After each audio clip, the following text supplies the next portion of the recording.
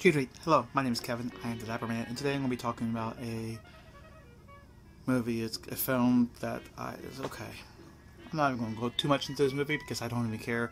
It's called Gods of Egypt. See right there? Yeah. That thrilling, exciting movie. I just want you to look at this case. I just want you to look at this movie.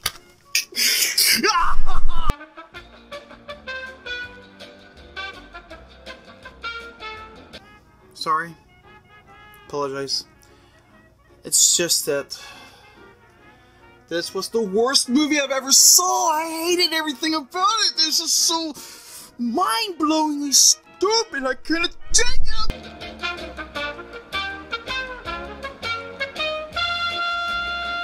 Let me try this again. I can't describe into words of how awful this movie is. I can't even write down what this movie's about because it's all over the place. So I would do the cheating way, which is my favorite way of doing a movie review. I want to tell you exactly what this blue gray case says in the back because you're just curious to know what it says. I know it's not zooming in. Why? I don't know. It's probably because the movie's so awful. It doesn't want to let you know what the movie's about. Anyhow, says Gerard Butler and Nikolaj Coster-Waldau. That guy. Yeah. Star as rival gods, locked in an epic battle to decide the fate of the universe in this thrilling fantasy adventure. If I could just tell you how exciting this movie was, it would just blow your mind because this movie was not exciting at all whatsoever. It was frustrating. It was garbage. The CGI, the story, the acting, I mean, everything was bad in this movie. Even the music, it was so bland. It was awful. The beginning of the movie, it was one of the most awful things ever. I mean, here's the beginning of the movie. Few know the whole story. From what I recall, it goes something like this. That's the best they got. Is as I recalled. Here's a true story, but here it is as I recalled it. What what kind of beginning of a movie is that? It's awful.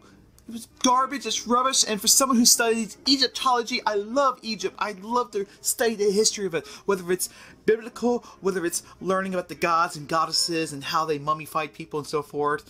I mean, it made The Mummy with Brendan Fraser look like an Academy Award winning picture. And it's good, but it's not that great. It's just fun. This movie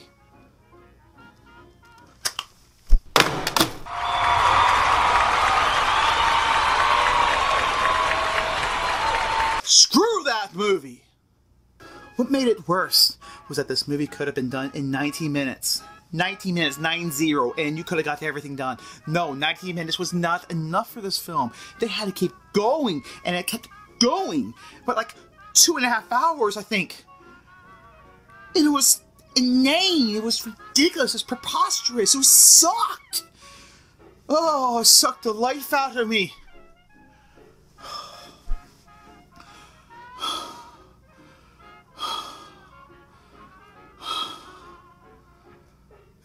Awful.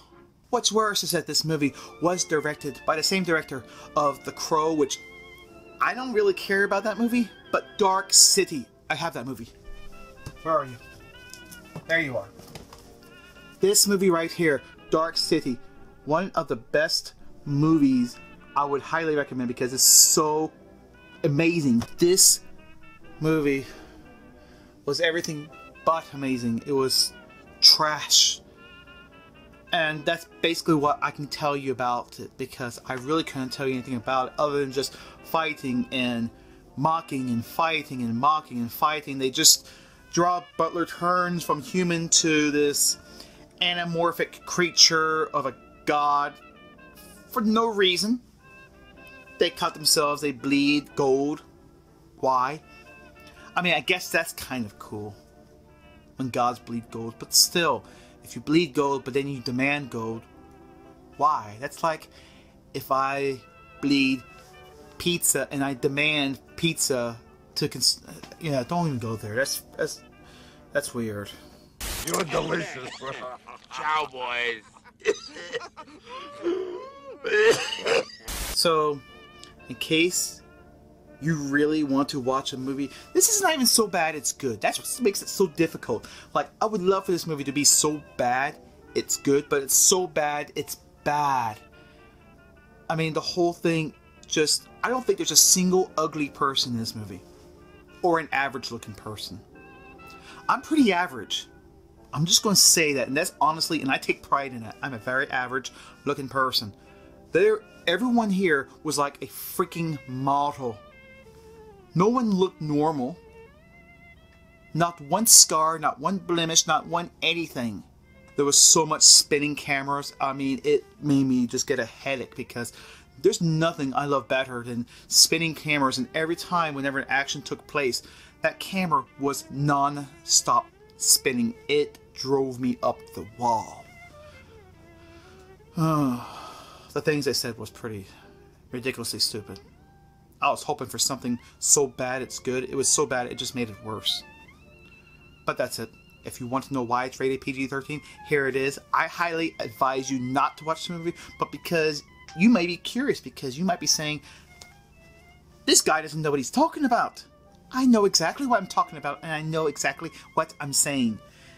It's bad. There's a reason why this movie did so horrible on the box office and worldwide.